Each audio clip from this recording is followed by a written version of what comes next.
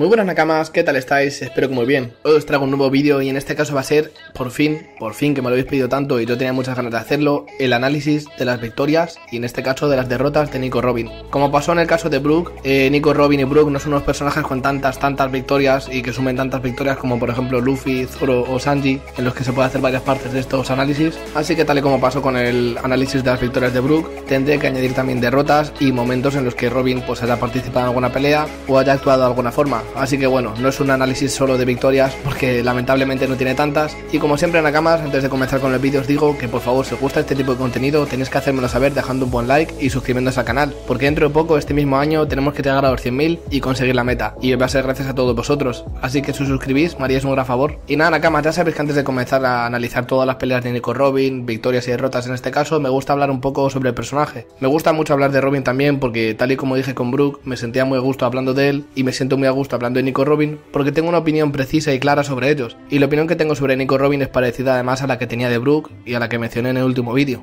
Y es que me parece que Nico Robin desde que apareció pareció un personaje que podía ser poderoso, parecía un personaje siniestro de alguna forma con su Akuma no Mi y que su Akuma no Mi la volvía a Nico Robin bastante peligrosa, poderosa, no sé, además no tenía ningún tipo de reparo en matar a sus oponentes rompiéndoles el cuello con su Akuma no Mi, es decir, se vio muy poderosa desde el principio y parecía que iba a tener bastantes enemigos por saga, por así decirlo, rivales, y al final pues parece que Nico Robin se quedó un poco cuando en realidad yo tenía grandes esperanzas en ella, al igual que las tenía en Brook, al igual que las tengo en Frankie, al igual que las tengo en Chopper, aunque luego no se aprovechan tanto estos personajes. Yo esperaba que tras el tema Escape Nico Robin hiciera mucho más, pero hay que esperar porque realmente es la arqueóloga y lo que va a hacer importante, ya sabemos qué es lo que va a hacer que es importante, claro, porque es la arqueóloga y tiene que ver con los Poneglyph, pero en cuanto a peleas me dejó bastante que desear, aunque sí es cierto que me gusta muchísimo como personaje y eso no quita que me guste, pero esperaba más de y de su poder, físicamente hablando y hablando de peleas. Y bueno, en el caso de Brook ya dijimos que él por lo menos tuvo su momentazo con Big Mom. Nico Robin ha tenido un gran momentazo en una pelea, pero sí que nos deja con grandes momentos, siendo un personaje que a mucha gente también le gusta y que, aunque no destaque por su fuerza o su poder, en realidad sí que es poderosa, aunque no se muestre siempre y su misión es otra, siendo arqueóloga. Así que bueno, disfrutemos de Nico Robin y también de este análisis de victorias, derrotas y todas sus participaciones. Comencemos.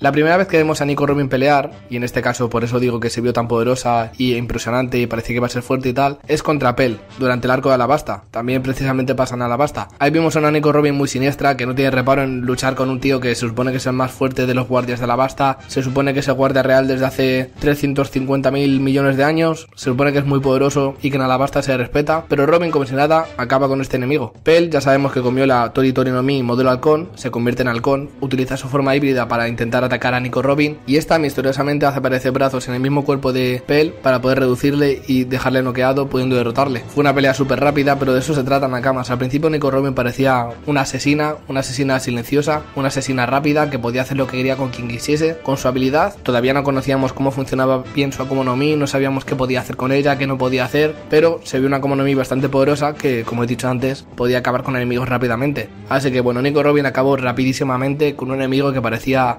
excepcionalmente fuerte y que quedó muy mal, la verdad.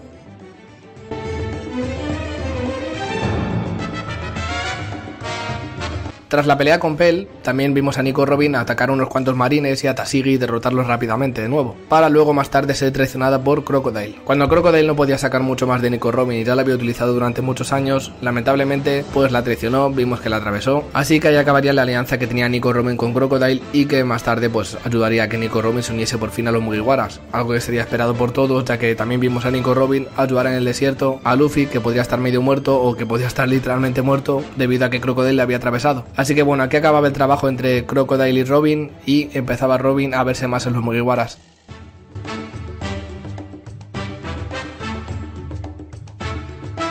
Más tarde en el arco de Nel vimos una primera pelea seria, entre comillas, en la que vemos a Robin tener un rival de verdad y es contra Yama, Yama era el comandante de los soldados divinos de Enel, por lo tanto tenía algún tipo de cargo dentro de esta isla, debido a que Enel confiaba en él. Vimos a este hombre súper grande y gordo enfrentarse a Nico Robin, y la verdad es que ella pareció un poco más debilucha en comparación con él, al menos en su cuerpo, pero bueno, sabemos que Nico Robin en estos casos todavía tiene la habilidad chetada, todavía veíamos que su Akuma no Mi, la Hana Hana no Mi, podía ser poderosa, teníamos esperanzas en ella y estábamos en lo cierto, porque con su habilidad pudo derrotar fácilmente a Yama. Otra pelea que digo que es corta, pero bueno, nada más. Ya por lo menos veíamos que Robin tenía un rival decente o un rival por lo menos asignado en el arco o saga, no como luego que ya ni los tiene y por eso ya no se puede hacer ni un análisis de victorias, porque realmente Nico Robin tiene pocas peleas nakamas. Así que bueno, en la saga de Skypiea, en el arco de Skypiea, pues derrotó a Yama, el comandante de los soldados divinos. En este mismo arco también vemos como Robin junto a Zoro, Wiper y Ganfall enfrentan en él, bueno, enfrentan, intentan enfrentarle, pero ya sabemos cómo acaba esto, en él los destroza todos con rayos. Y bueno, esto sí que sería una derrota de verdad para Nico Robin, que tras vencer a Yama, pues pierde contra el dios en él.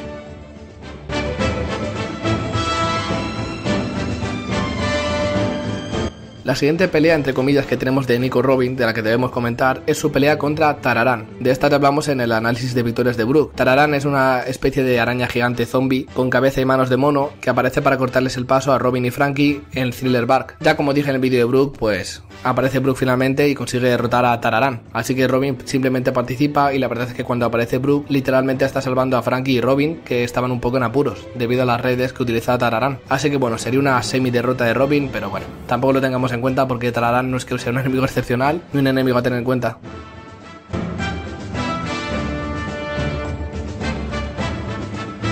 Tendremos que esperar hasta después del time skip al arco de la isla Yojin para ver a Robin de nuevo peleando contra alguien individualmente, tener una pelea de verdad seria contra un rival, como he dicho antes, con Yama. Fijaros la distancia que hay entre Yama hasta Hammond, que es este rival del que vamos a hablar ahora, y esta pelea que tiene individualmente Robin, la distancia de capítulos y episodios que hay, o sea, es una locura el tiempo que pasa hasta que Robin por fin se acuerdan de ella, se fijan en su faceta peleadora, por así decirlo, y vuelve a tener un rival serio. Un rival serio, por lo menos tiene un rival, ya me entendéis. También hay que comentar que, bueno, de alguna forma individualmente se enfrentó a Spandam cuando este trató de capturarla, pero bueno, como rival serio sería Hammond, un Yojin perteneciente a la nueva banda de Jody Jones, y que bueno, a Nico Robin no le duró, no le duró mucho tampoco. Ya sabes que siempre digo que tras el time skip todos los Mugiwaras debían verse fuertes para demostrar que en esos dos años estuvieron entrenando para poder ayudar a Luffy en su aventura, para cumplir todos sus sueños, así que todos los Mugiwaras debían verse fuertes. Robin acabó en poco tiempo con Hammond. Vimos como Robin creaba piernas gigantes en la plaza John Cortia para poder derrotar a los enemigos y contra Hammond vimos una cosa muy curiosa, y es que Robin creó un clon de sí misma, otro cuerpo entero,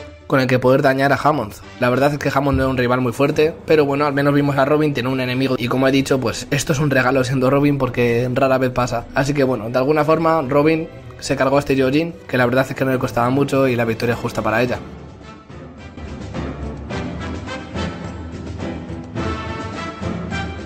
Y bueno, toca hablar de la que sería más o menos una pelea mucho más importante, un enfrentamiento un poco más importante. O bueno, pelea como queréis decirlo. Ya como he dicho antes al principio del vídeo, sería comentar un poco las peleas de Nico Robin y los momentos en los que ha participado. Y sería su pelea contra Sugar y contra Trevor. Una pelea muy importante, un acontecimiento importante porque ya sabéis que Robin estaba con Usopp en los subterráneos de Dressrosa intentando hacer que Sugar se quede cao gracias a los Tontata y ella fue la primera en ser descubierta y tuvo que enfrentarse un poco a Trevor y a Sugar porque si no ella y Usopp morirían allí mismo. Robin lamentablemente fue capturada por Trevor, no tuvo oportunidad de defenderse y sinceramente creo que Trevor aún así era mucho más fuerte que Nico Robin. Trevor es un peleador de verdad, Nico Robin tiene una habilidad que yo considero muy buena pero que no se la ha visto pelear nunca, no podía hacer nada contra este personaje que además luego se mostró que tenía sus secretos escondidos. Así que bueno, esto sí que será una derrota justísima para Nico Robin porque no merecía ganar de ninguna forma, la verdad.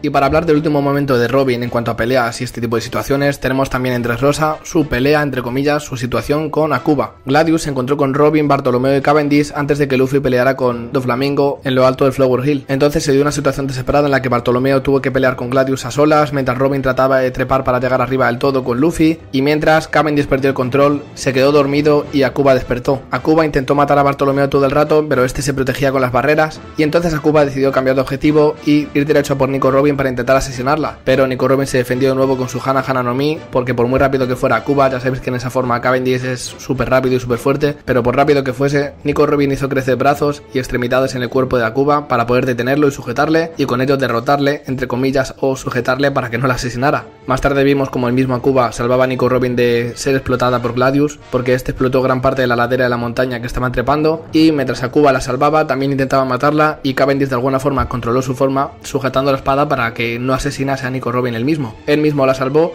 y trató de matarla.